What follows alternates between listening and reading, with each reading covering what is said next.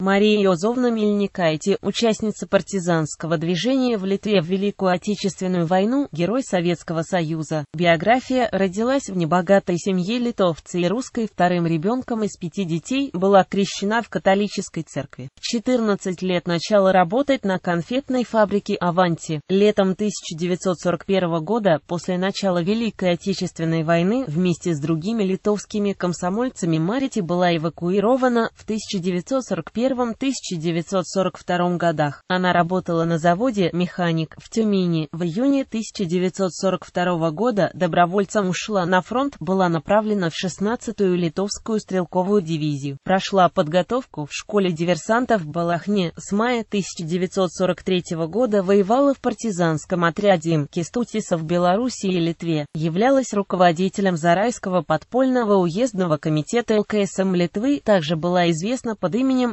Марити Маргити. Партизаны пускали под откос вражеские поезда с военной техникой, взрывали склады, совершали налеты на гарнизоны противника, жгли поместья и хозяйства, захваченные гитлеровскими колонистами. Марити была в отряде самым активным бойцом, участвовала в диверсиях, ходила в разведку, вела большую работу среди жителей. Летом 1943 года Марити направили во главе группы партизан из отряда в вооруженный штаб, действовавший в белорусских лесах.